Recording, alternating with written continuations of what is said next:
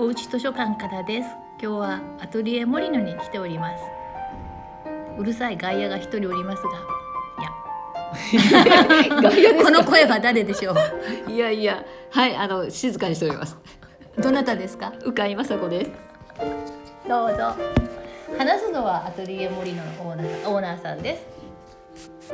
えー、と今日は引きこもり図書館をご紹介します。と言っても私もまだ読んでない本で買っただけなんですけど。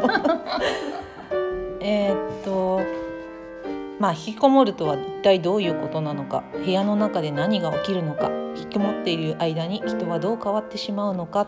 と帯に書いてあるんですけれども。うん。なんて言うんだろう。まあ読んでないでね。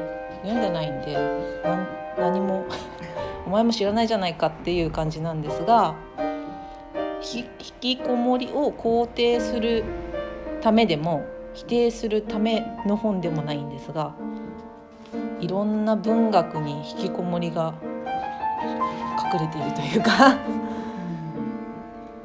そうなんですね。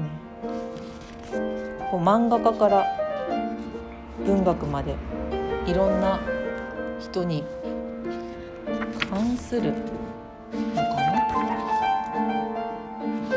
まあ、引きこもりってそんなにあ引きこもりというか引きこもるっていう動詞的表現で言うとあんまりこう悪いことに思ってなくて私は。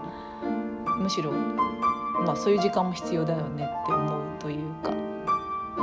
だからそこに本があったらそれだけで、まあ、読書をしているというこう対外的な名目も立つというか、まあ、そんな感じで惹かれてちょっと買ってこれから読もうかなっていう感じです。ありがとうございました